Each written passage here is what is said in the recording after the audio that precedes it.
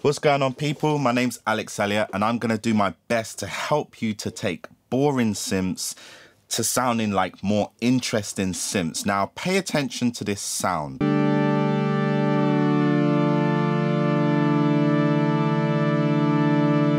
Now that you've got that sound locked into your mind, I want you to try and identify that sound within the context of this full mix.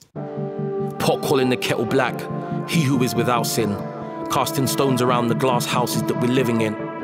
Judge a lyric book by its cover, but consider the cost trying to be covered when sick and tired of this daily saga dance we write so we don't have to sing. London born and bred, but it shouldn't be this hard though. Your bread and butter spread you thin. We do what we hate with discipline. This mask I'm in, the truth is that my masculine has got me pitted up against my brother. I'm scarred and I ain't even Lion King. The Bible tells us the sins of the parents fall upon the children. Yeah. Knock knock who's there, I guess karma's arrived. Did you find it? Now, you're not to believe this, but the crazy thing is, is that sound I played you in the beginning is actually this sound.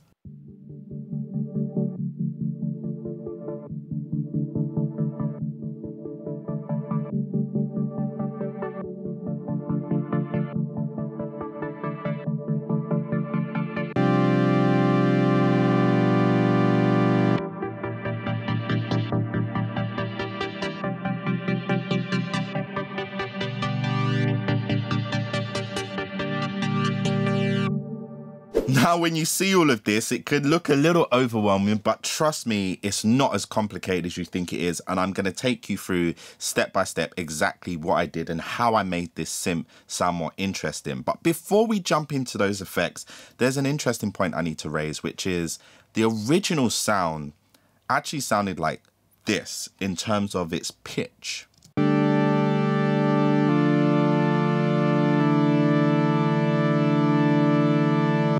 But by using the MPE to pitch bend between the notes, which is a really unique thing you can do when you're using the synths built into Ableton, it ended up sounding like this.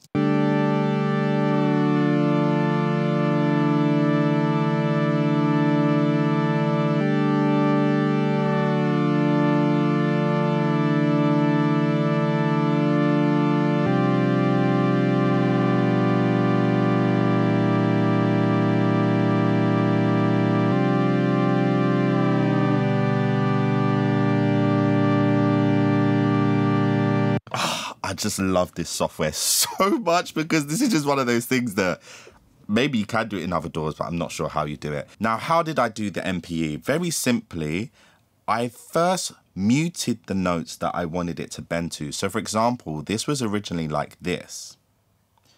But what I'll do is I'll mute these and then I'll drag this out. Now, the reason I mute them and I don't delete them is because when you actually flip it into MPE mode, it then actually gives you a guide that you can use to know exactly where you want each note to bend to. So that's my simple trick for doing this. And I did that for the entirety of this MIDI. Now for the interesting bit. After I had the MPE, I wanted to give it a sense of rhythm because the sound was quite static. And the way I did this is I actually took the shaper and I mapped the shaper to be able to affect the frequency cutoff of the synth. So as you can see, it's now moving in time 1 over 8. And then by affecting the depth, you can control how much of the sound is pulsating or not. Check this out.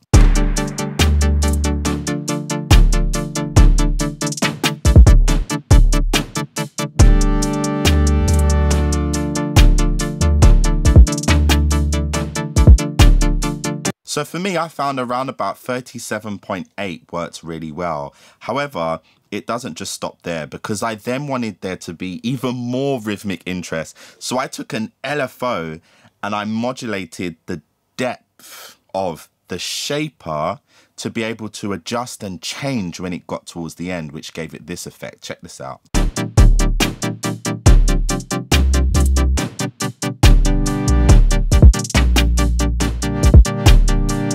Now, why is that happening? Once again, it's as simpler than you think it is. If I just play with this depth amount, you can see the impact that it actually has on the overall sound. Check this out.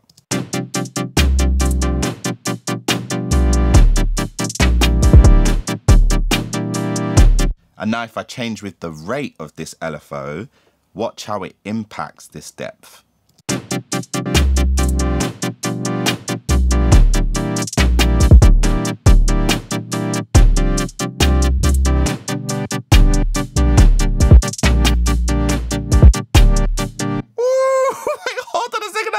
Kind sick.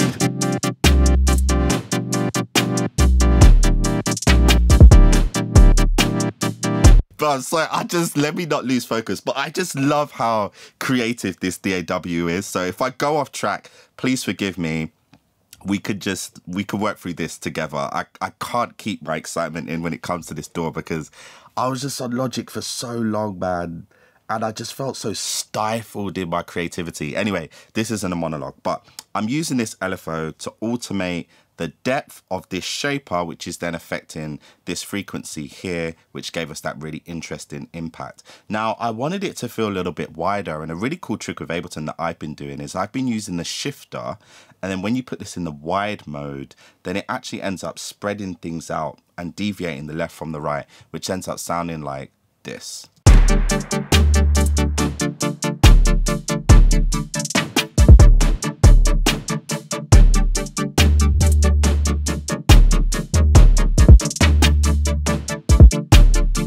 Which in itself is so cool, right? Because say you wanted a cool way to enter into a sound, you could, for example, make it come in like out of tune and then slowly come into tune.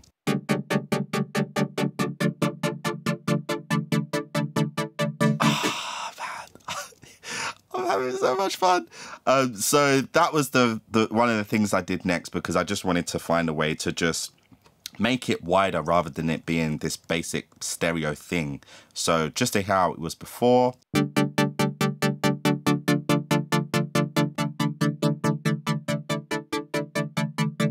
Now, another thing I wanted to add, I'm gonna need the piano for this. Another thing I wanted to add is I wanted to give the sound uh, more of a sustain. So if we think about this, which is how it sounds so far, right? But I wanted the sound to have more of a like the note to ring out a little bit more. And the way that I love to do that is to add reverb. So I added in this hybrid reverb and I love to use springs because they have a lot of character and just listen to what it does to the tail of this sound.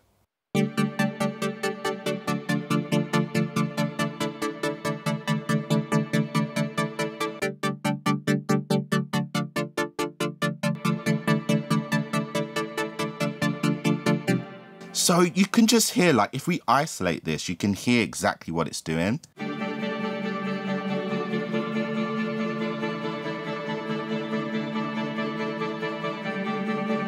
Which is just like a whole other synth in itself. And like, imagine, for example, if we were like, okay, maybe we want to start completely wet. There's so many things I could have done to this track the more I'm getting into this. But say we wanted to start completely wet and feel like it was in the background and it's kind of coming in. We could do this and just automate the dry wet down here to do so.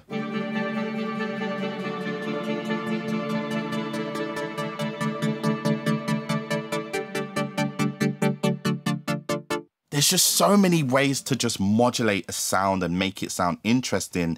The thing to keep in mind is to just play. When it comes to Ableton, don't think linear. Don't think like how you do with other DAWs. Think to yourself, what will happen if I just took that and modulated it to that? And if I took that and made it impact this thing, just just like throw things all over the place. Now, after I did the hybrid reverb, I wanted to add a ton of excitement. So obviously I had to turn to OTT. If you don't know, OTT is a preset within the multi-band dynamics plugin within Ableton.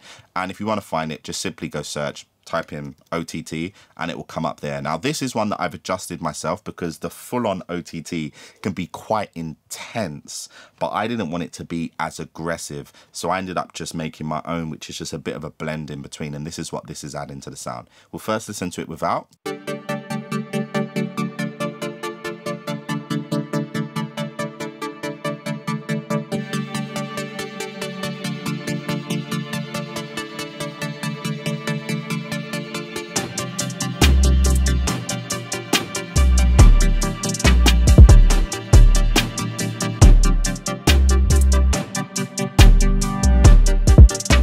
No, no, no, no, no.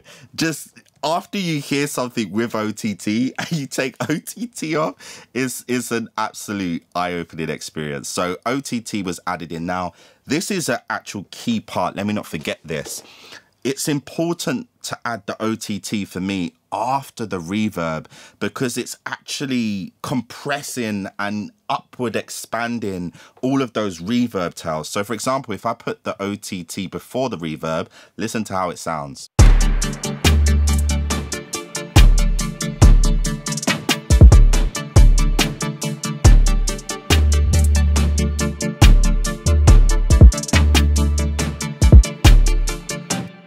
Then when we flip those around and we put that OTT after reverb, that's when we get this.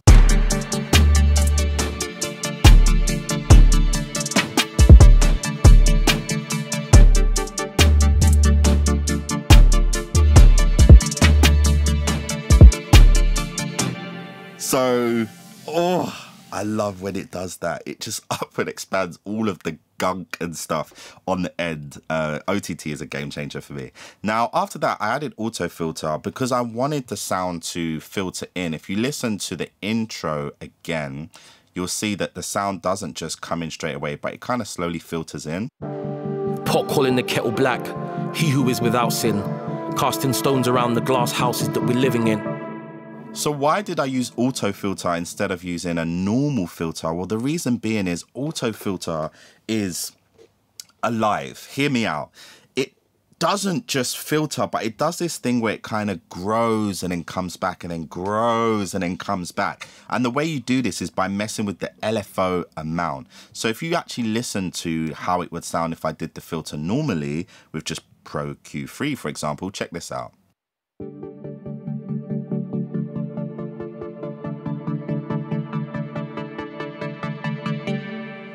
You get the picture. Pretty straightforward. Oh, I love all that gunk. But the interesting thing with auto filter is, as I said, it does this thing where it grows. Now listen to how it sounds.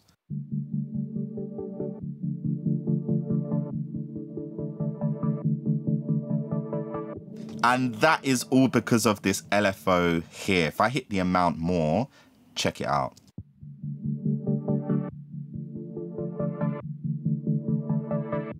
It will make it grow even more. And if I turn it all the way down, then it will be a normal traditional filter.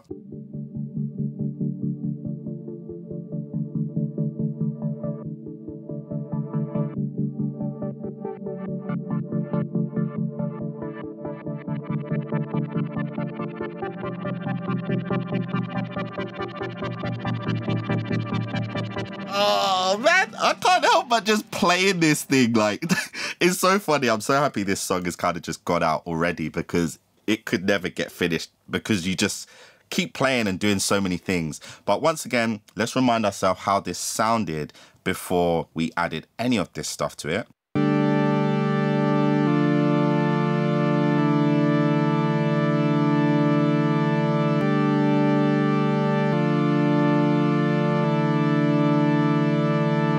I mean, it's nice. We could use it in some cases, but in the case of this song, that's just not add enough interest. And now let's slap everything on. Let's see how it sounded.